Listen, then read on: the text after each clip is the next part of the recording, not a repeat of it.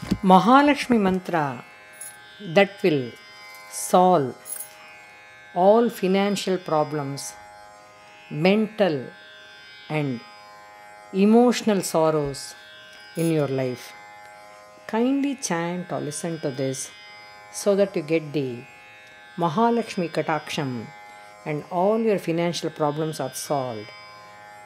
Besides that, all your sorrows are also solved.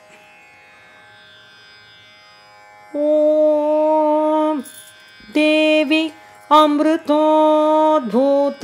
कमलाचन्द्रशोभना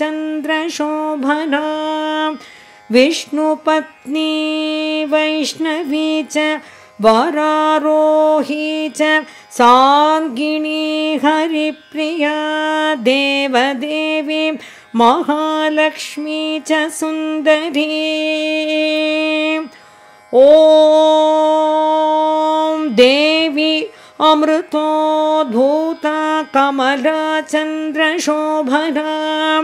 विष्णुपत्नी Vaishnavi च वरारोही च सार्गिणी हरिप्रिया देवदेवी महालक्ष्मी च सुन्दरी।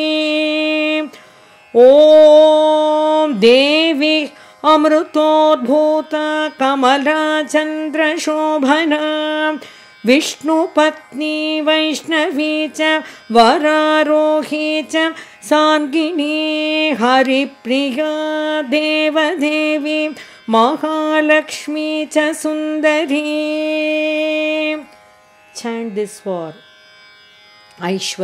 Lakshmi Kataksham, to eradicate all your financial, monetary problems and all your sorrows. Shri Matre Namaha, Shri Gurubhyo Namaha.